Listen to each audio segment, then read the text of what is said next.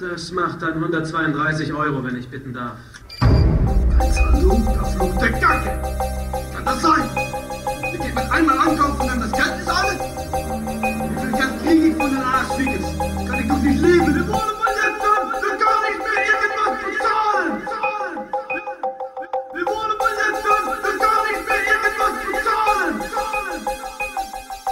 Skrupellos der Profit gering, werden Bilanzen gefälscht und Anleger getäuscht.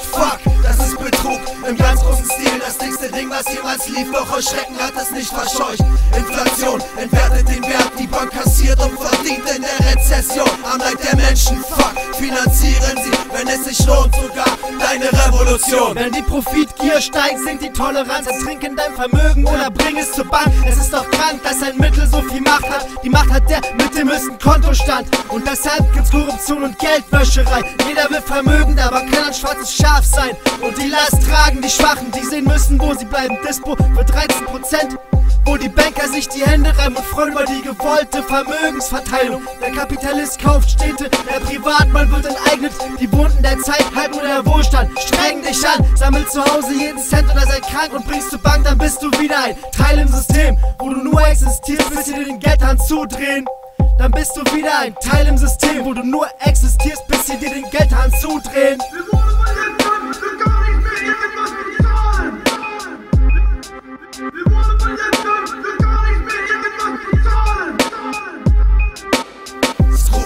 Der Profit gering, werden Bilanzen gefälscht und Anleger getäuscht. Fuck, das ist Betrug im ganz großen Stil. Das dickste Ding, was jemals lief, doch euch Schrecken hat es nicht verscheucht.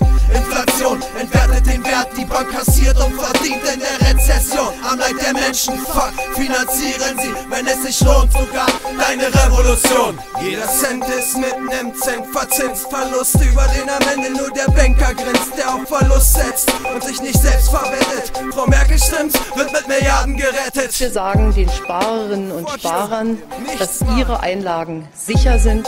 Sicher nicht, nicht sicher, sicherlich nicht mehr stimmt.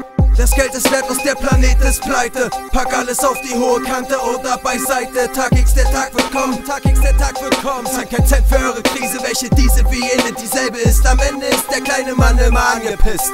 Mann, was soll der Mist, verdammt diese Penner Bunkern unsere Kohle und das im eigenen Keller Banken sind nicht sicher, Banken gehen pleite Banken fotzen Stricher, ich steh nicht auf eurer Seite